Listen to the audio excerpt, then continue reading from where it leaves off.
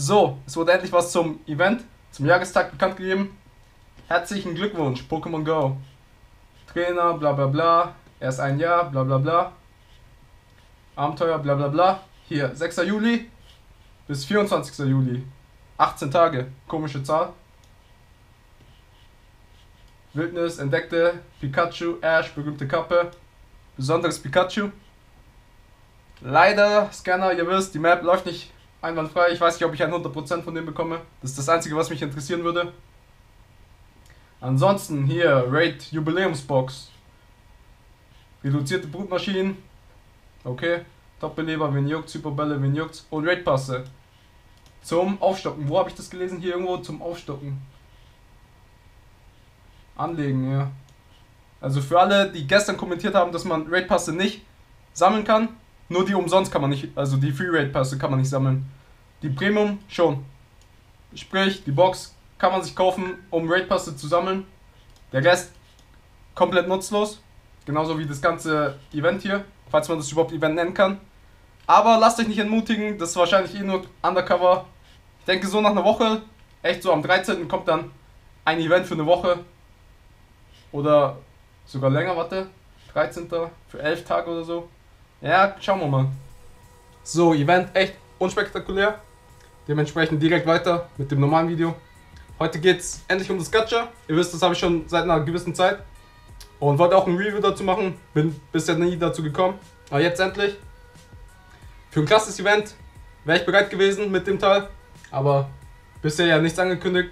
Ich werde nicht viel dazu reden. Also ganz klar nur die Fakten, was gut ist, was schlecht ist. Meine Meinung zum Go Plus habt ihr gesehen. Und ich habe gesagt, Go Plus ist fast wie Botten. Das hier ist hundertprozentig Botten. Also müsst ihr selber entscheiden, ob ihr das mögt oder nicht. Ich habe mich jetzt echt damit angefreundet. Ich benutze es jeden Tag. Ist echt sehr praktisch. Kurz zur Verpackung und zum Preis. Kostet 30 Pfund plus Versand 4,99 Pfund. Sind 35 Pfund. Ich weiß nicht genau, wie viel das in Euro ist. Könnt ihr umrechnen und dann irgendeiner schreibt es schon in die Kommentare. Und ich habe auch keine Ahnung, wie viel ein Go zurzeit kostet. Dementsprechend kann ich nicht sagen, welches billiger, welches teurer ist. Aber zum Preis kommen wir gleich noch, weil das hat einen Plus, einen Vorteil, das sich auf den Preis auswirkt. Aber so sieht es erstmal aus. Sieht echt billig aus, gefälscht. So richtig so made in China. Sieht echt so aus wie so ein Teil, was ich auf dem Straßenmarkt in Vietnam sehe. Selbst die Pokebälle und das hier, das sieht alles richtig fake aus. Hier die Schrift richtig billig. Aber das Teil ist echt krass. Dementsprechend gleich direkt zu den Vorteilen. Erstens, wo ist es? Das hier, das ist der größte Vorteil. Man kann es aufladen, sprich man spart sich Batterien. Dementsprechend, habe ich ja gerade erwähnt, äh, wirkt sich das auch auf den Preis aus, weil man nie Batterien kaufen muss, sondern nur Strom.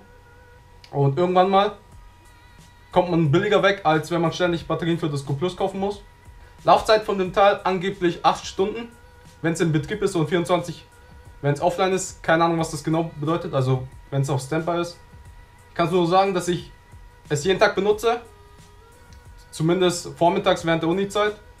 Und das Teil ist mir noch nie ausgegangen. Ich habe es halt noch nie so lange benutzt, dass es während des Tages ausgegangen ist. Und dann am Abend oder in der Früh lade ich das bisschen auf. Ich weiß nicht mal, wie lange man das laden muss. Ich lasse es halt immer eine Weile an. Moment, so. Ich lasse es immer eine Weile an und dann stecke ich es wieder aus. Hat bisher immer gereicht, ist mir echt noch nie ausgegangen. Also ich kann mich echt nicht über die Laufzeit beklagen. Falls manche sagen, das ist echt zu wenig oder so, kann man es auch das hier mitnehmen und immer an die Powerbank anstecken. Also das sollte echt kein Problem sein. Zweiter Vorteil, es reagiert halt sehr schnell. Also zumindest ist es bei mir so. Ich weiß nicht, ob das, äh, ich weiß nicht, ob das irgendwie mit Handys zusammenhängt und bei anderen Handys irgendwie anders ist. Aber bei mir ist es so, dass es sehr schnell reagiert. Das Go Plus, habe ich bei meinem Review gesagt, reagiert auch manchmal so schnell, dass man, be bevor das Pokémon überhaupt auftaucht im Spiel, man bereits klicken kann. Und das ist bei dem hier noch viel öfter so der Fall. Ich war sogar mal am Bordeauxplatz, wir haben dort ein bisschen gefarmt. Und dann ist mir nach einer Weile aufgefallen, dass schon ernst kein Pokémon mehr kam. Aber das lag nicht daran, dass keine Pokémon mehr kamen, sondern dass das Teil einfach alle gefangen hat, bevor die überhaupt aufgetaucht sind. Also, das ist auf jeden Fall ein Pluspunkt. Ich blende hier wahrscheinlich schon die ganze Zeit ein, wie ich das beim Busfahren getestet habe. Äh, Busfahren oder Tramfahren wahrscheinlich nicht die beste Demonstration, weil man ist einfach zu schnell. Selbst das Teil, obwohl das echt gut ist, kann ich jedes, jeden Stop, jedes Pokémon erfassen. Also bei Bus und Tram trotzdem immer noch beides machen, das Teil benutzen und dann manuell noch Pokémon fangen oder drehen. Also meistens fängt der Pokémon, weil der genau wie das Plus Pokémon bevorzugt. Und dann kann man manuell noch die Stops drehen. War auch gut beim letzten Event. Da ging es ja eigentlich um Würfe, also war es eigentlich besser, wenn man ohne das gespielt hat. Aber ihr wisst, ich habe ab und zu Softband kassiert oder sagen wir mal sogar öfters. Und dann in der Zeit, wo ich Softband kassiert habe, habe ich das einfach angemacht und der hat dann alle Pokémon zumindest versucht zu fangen. Habe ich wenigstens 25 Punkte noch bekommen. In der Zeit, wo die alle geflohen sind. Ein weiterer Vorteil, der für mich zwar nicht so ausschlaggebend ist, aber man bemerkt schon ist, dass das hier halt echt undercover ist. Das Teil hier vibriert halt echt laut und ab und zu hört man das schon echt. Und ist sogar echt manchmal unangenehm. Zum Beispiel, wenn ich in der Bibliothek sitze oder im Unterricht. Da kann man es auf jeden Fall hören, wenn alle gerade still sind und ist auch ein bisschen nervig. Ich habe gesagt, mir gefällt es nicht, weil das ist so ein Zwischending. Ich habe gesagt, entweder hat man Zeit zum Spielen oder man hat keine. Und das hier ist echt so, man hat zwar keine Zeit, aber irgendwie spielt man trotzdem. Das hat mir nicht so getaugt, dieses Zwischending. Aber das ist echt, wenn man keine Zeit hat, das macht es nebenbei automatisch alles. Wie gesagt, alles automatisch, also muss man selber wissen, ob man das als Cheaten bezeichnet oder nicht. Weil der macht echt alles automatisch. Apropos alles automatisch, ich habe vergessen zu sagen, was er alles kann. Der kann vieles, aber braucht tut man eigentlich nichts davon. Moment, also das Teil ist so gekommen, diese drei Sachen. Aufladeteil, das hier mit dem Band und das hier. Und da ist eigentlich nur der Link drauf zur Anleitung. Also falls ihr das kauft, könnt ihr das abchecken, die Anleitung. Und wie gesagt, da, es hat viele Optionen, aber braucht tut man da nicht vieles. Also es gibt ein paar Gerüchte, der kann nicht Superball und Hyperball werfen. Der kann weiterhin, der kann echt genau dasselbe wie das hier.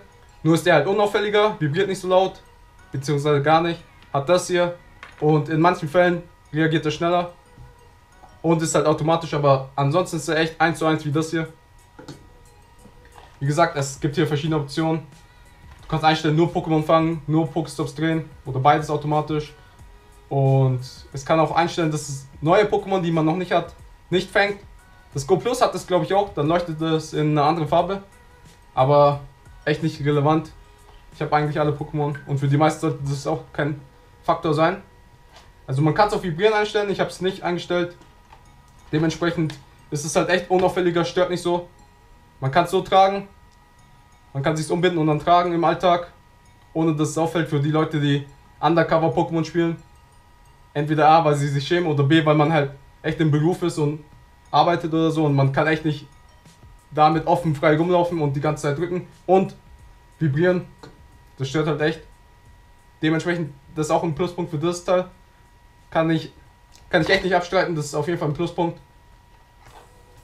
Und also so wie ich es mache, weil es momentan zu heiß und ich schütze unter dem Teil, wenn ich es zu lange anhabe, ist, dass ich es einfach so anmache, verbinde und dann in die Hosentasche oder so stecke. Man kann es auch abmachen und nur das Teil hier rumtragen. Gefahr ist halt, dass man es möglicherweise verliert. Aber das waren die Vorteile. Nochmal kurz zusammengefasst. Aufladbar, reagiert schneller und ist wie soll man das sagen, dezenter. Das ist ein gutes Wort, dezenter, nicht so auffällig. Vielleicht noch ein vierter Punkt. Manche meinen, das hier verbindet besser, hat nicht so große Verbindungsprobleme wie das Go Plus. Stimmt, mit dem habe ich echt wenig Verbindungsprobleme, beziehungsweise fast nie. Problem, also ich kann das nicht vergleichen, ich kann, da, ich kann das nicht als einen Pluspunkt nennen, da ich mit dem Go Plus auch nie Probleme hatte. Das hat sich auch immer direkt verbunden, hat sich nie einfach so entkoppelt. Abgesehen davon, wenn's halt, wenn halt eine Stunde vorbei ist, dann entkoppelt er sich automatisch, aber das ist bei dem auch so. Also wie gesagt, die sind echt 1 zu 1 fast identisch. Dann kommen wir natürlich zu den Nachteilen. Da gibt es zwei, beziehungsweise ein. Der eine große Nachteil ist einfach, dass es nicht offiziell ist von Niantic. Und daraus resultieren zwei mögliche Probleme. Das erste Problem haben wir überstanden und da, das war meine größte Sorge. Und zwar war das, ich hatte echt Angst, dass wenn ein Update kommt, das Teil dann nicht mehr geht, weil die dann irgendwas reinpatchen, dachte ich, dass das hier dann stoppen wird. Es kamen zwei neue Updates seitdem ich das hier habe und es geht immer noch. Dementsprechend haben wir diese Sorge schon mal überlebt, aber man weiß nie, was die Zukunft bringen wird. Falls es auffälliger wird, falls mehr Leute das benutzen, kann Niantic möglicherweise irgendwas rein updaten, reinpatchen, was das Teil halt dann halt komplett sinnlos macht und nicht mehr verbinden kann. Ich kenne mich nicht aus, ich weiß nicht mal, ob das möglich ist, aber das ist meine größte Sorge. Und dann zweite Sorge, zweiter Nachteil natürlich, wo ich mir eigentlich nicht so viele Sorgen mache, aber manche andere schon, ist, dass man gebannt werden kann dafür. Uh, gebannt. Ich mache mir wie gesagt keine Sorgen. Es ist echt so wie das hier. Es reagiert und verbindet und wird auch angezeigt wie ein Go Plus. Dementsprechend, ich denke mal an, das ist auch ein modifiziertes Go Plus, keine Ahnung. Und ich denke mal, wenn man ein Go Plus upgradet, selber da irgendwas modifiziert, kann man nicht dafür gebannt werden, dementsprechend dafür eigentlich auch nicht. Aber natürlich kann ich euch das nicht 100% garantieren. Das Risiko müsst ihr allein eingehen und ihr müsst auch für euch selber entscheiden, ob das akzeptabel für euch ist, dass das alles automatisch macht. Kann echt von Vorteil sein. Wie gesagt, ich bin schon seit einer Weile echt faul geworden. Erst dadurch bin ich fauler geworden und dann dadurch bin ich noch richtig fauler geworden. Und man gewöhnt sich auf jeden Fall echt dran. Echt gefährlich, wie schnell man sich dran gewöhnt und dann wie faul man wird. Ich habe das mal am Bordeauxplatz gehabt, bin auf Toilette gegangen, habe mir was zu essen gekauft und habe das einfach da liegen gelassen. Natürlich unter Aussicht mit meinem Handy und der hat in der Zwischenzeit alles gefangen. Also echt praktisch. Aber das war's. Gacha Review. Ich kann es echt nur empfehlen. Wer sich leisten kann und wer keine Probleme damit hat und das Risiko eingehen will, das kleine Risiko, der sollte sich das auf jeden Fall holen. Ich kann es echt nur empfehlen. Ich finde es top. Ich werde es jetzt. Ich benutze es echt jeden Tag. Ansonsten schreibt unten in die Kommentare, wie ihr das findet. Äh, findet ihr das Cheaten? Findet ihr das Botten? Würdet ihr euch das kaufen? Und findet ihr, dass das Go Plus auch auf automatisch abgegradet werden sollte? Ansonsten wie immer liken, subscriben, kommentieren. Checkt gerne mich so ab. Holt euch das Gacha, wenn ihr wollt. Folgt mir auf Instagram und Facebook. Vergesst nicht Pokémon und Serious Business.